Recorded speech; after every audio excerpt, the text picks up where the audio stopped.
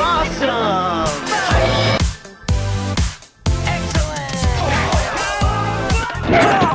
What the heck was that? Looked like sort of a big turtle in a trench coat.